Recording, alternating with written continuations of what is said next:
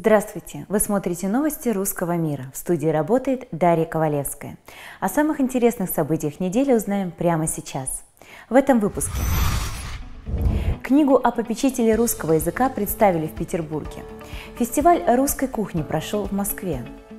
Фильм «Судьба диверсанта. Новая летняя премьера». А теперь более подробно об этих и других новостях.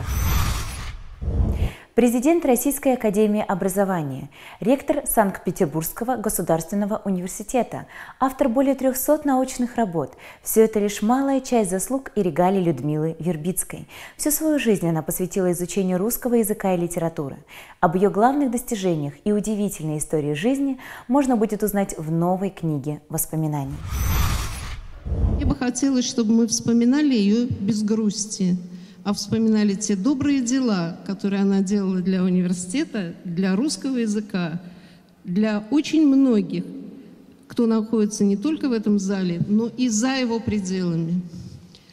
Каждый, кто обращался к ней, не знал отказа. Людмила Алексеевна помогала всем. Папа был охотником. Он очень хотел, чтобы родился сын. И тут родилась через 8 лет я. Радости, я поняла, особой не было. И Людочка, будучи такой очень активной девочкой, села на коленке к папе и сказала, «Папа, с кем же теперь ты пойдешь на охоту?» И папа сказал, «Конечно, с тобой, доченька, не с этой же, которая вот тут вот в коляске лежит». Вот, и я считаю, что вот эти папины черты отразились в издании использовали ранее неизданные материалы университета, а также документы из личных архивов семьи Людмилы Вербицкой. Историки русской кухни, фудблогеры и кулинары представили лучшие традиции национальной кухни. На ярком фестивале в Измайловском Кремле гости смогли не только попробовать знаменитые блюда, но также принять участие в необычных эстафетах. Побывала на этом красочном мероприятии наш корреспондент Елена Власова. Профессионалы гастрономической индустрии подготовили третий международный фестиваль «Русская кухня». Сегодня всех гостей здесь ждут кулинарные мастер-классы, веселые соревнования и яркие флешмобы. Лучшие российские производители, кулинарные и фольклорные коллективы приехали сюда, чтобы показать настоящие русские традиции и объединить целые поколения и обратить внимание на такое популярное направление, как гастрономический туризм. Сегодня лучшие московские повара соревнуются в приготовлении ухи. Здесь у каждого повара есть свой авторский рецепт, которым он будет покорять сердца жюри и посетителей фестиваля. Сегодня мы с моими коллегами, шеф-поварами, э, готовим уху в рамках третьего международного фестиваля русской кухни. Мы будем готовить в огромных казанах э, и потом будем дегустировать все вместе. Здесь нет победителей, это хороший праздник, поэтому мы делаем его для города Москвы и вообще для России. Победителя будет выбирать экспертное жюри. После того, как все закончат готовить, комиссия поваров попробует приготовленную уху и вынесет свой вердикт. Оценить старания участников смогут и гости фестиваля. Для них также будет предоставлена возможность попробовать 10 видов русской ухи. Сегодня будем готовить с коллегой. Вот. А у нас рецепты похожи, и долгое время мы у себя в ресторанах ее разрабатывали и готовим при низкой температуре ее непосредственно и отдельно тремя способами бульон. Посетить фестиваль гастрономической индустрии можно до 11 июля. Впереди большая и насыщенная программа, которая никого не оставит равнодушным. Елена Власова, Андрей Челышев, специально для телеканала «Русский мир». Это значит, Россия живет! Форум «Золотой Витязь» отметил 30-летие. К празднованию юбилея присоединились российские звезды кино, артисты, музыканты.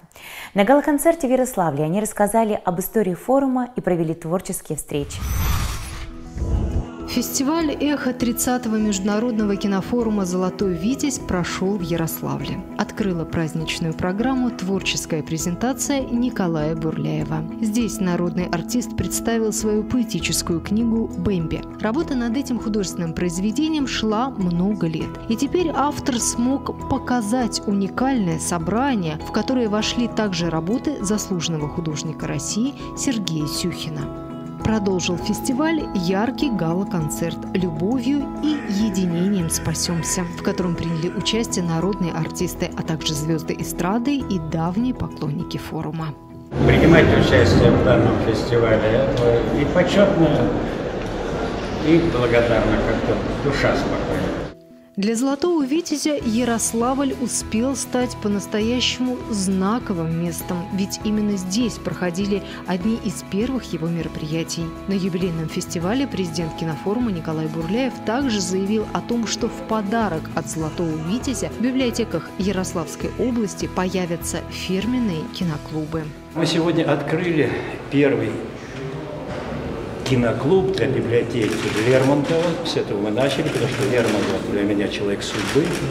Подарили этому киноклубу для начала 35 фильмов и обещали, что мы будем открывать киноклубы во многих местах области Ярославской с дарением по 200-250 фильмов из запасников «Золотого Витязя», а мы очень богаты, мы за 30 лет нашей жизни собрали 9 тысяч фильмов, хороших фильмов, которые не показывают наш телевизор.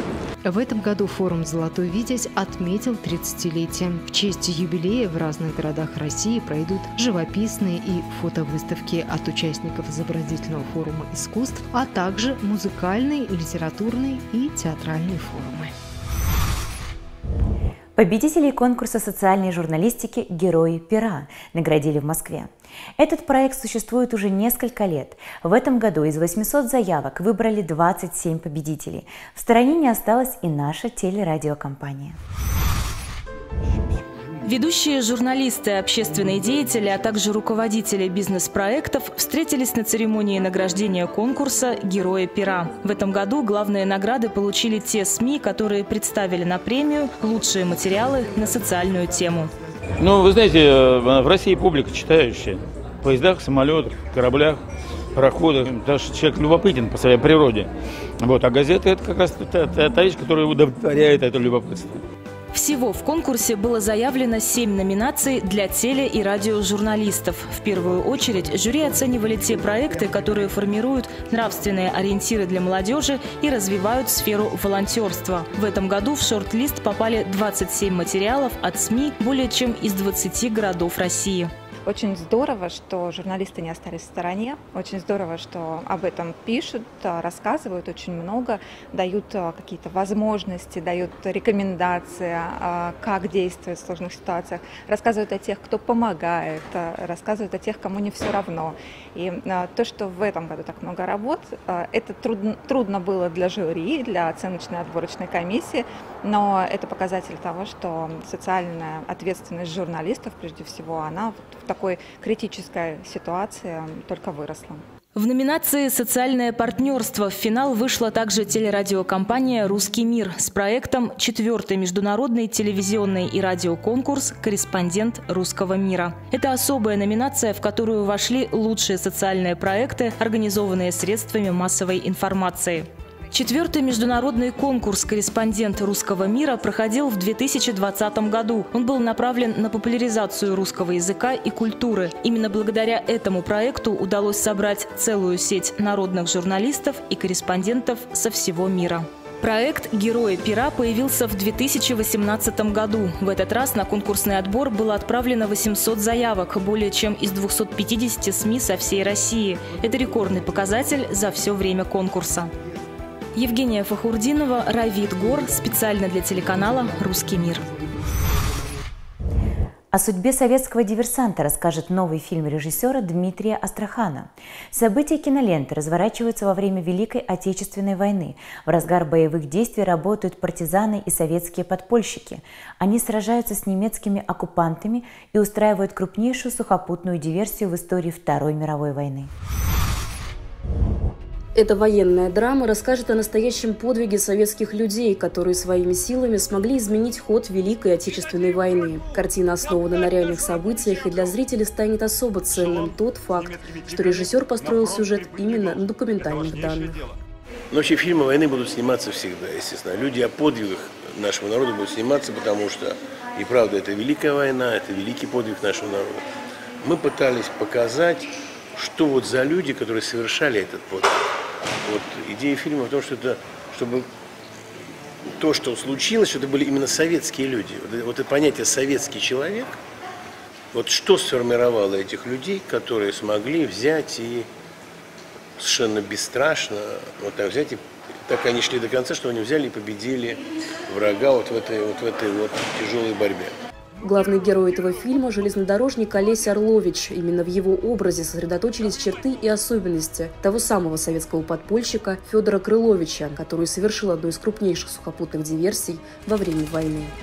30 июля 1943 года силами лишь одного партизана удалось установить мины на белорусской станции и уничтожить четыре немецких эшелона. Вычислить виновника этой операции вражеское командование оказалось не в силах. Подвиг простого рабочего мгновенно вошел в историю. Федор Крылович был награжден медалью партизана первой степени, а уже спустя несколько лет получил орден Ленина. Это другое время, другая эпоха и другие обстоятельства. А мы из мирной жизни туда перепрыгиваем на 80 лет почти.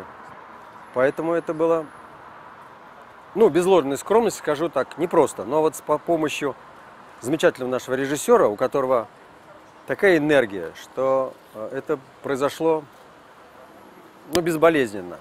В военной исторической драме «Судьба диверсанта» также приняли участие такие российские актеры, как Андрей Смоляков, Александр Семчев, Екатерина Кузьмич и многие другие. В российском прокате премьера фильма состоится 1 июля. О самых интересных событиях из жизни русского мира вы узнаете в нашем следующем информационном выпуске. До новых встреч и до свидания.